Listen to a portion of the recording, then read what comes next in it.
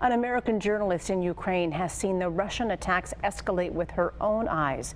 Christina Pascucci had to flee Poland for her own safety, and she's in Krakow now, where the sun is rising, and she joins us live with what she is seeing there. Christina, I imagine you have seen more than you ever could have ever imagined. Please give us uh, your thoughts as you sit there now. It's nice to be with you. Thank you so much for having me. Uh, the last week is kind of a, a blur, um, going on maybe 12 hours of sleep for the whole week. So, trying to formulate my thoughts, but it's been very emotional. Um, my heart is still with the people of Ukraine, and I, I wish deeply that I could go back um, I came here with an organization called Children of War Foundation and kind of embedded with them, and they were providing life saving surgeries for kids who had heart defects.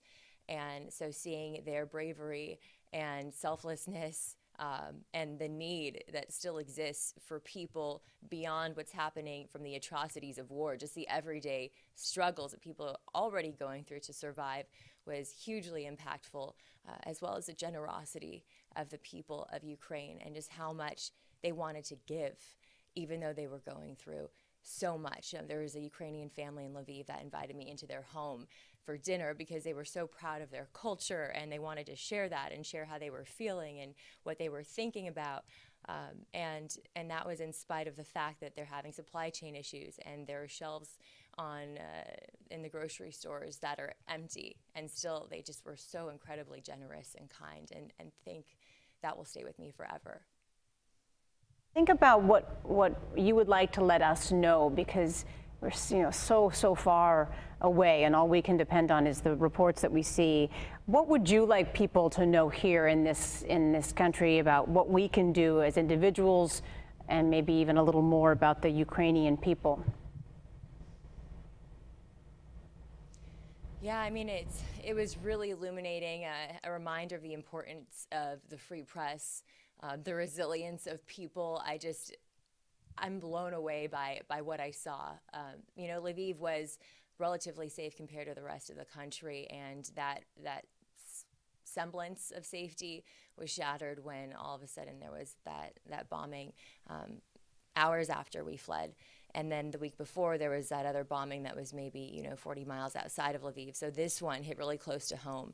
And I had a translator that I was with while I was there. His girlfriend lived right near the site of the blast. And the air raid sirens would go off pretty much every morning when we were there around 3 a.m., 5 a.m. That's part of the reason it's, it's so hard to sleep.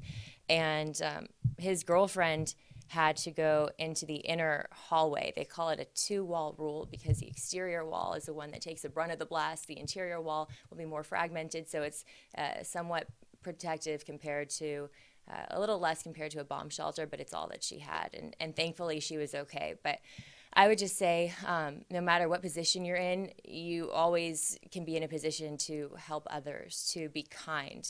And that is what people there were doing, just stepping up to help one another, even civilians training to fight the Russians should the Russian troops come to their city because they wanted to be hand in hand helping one another.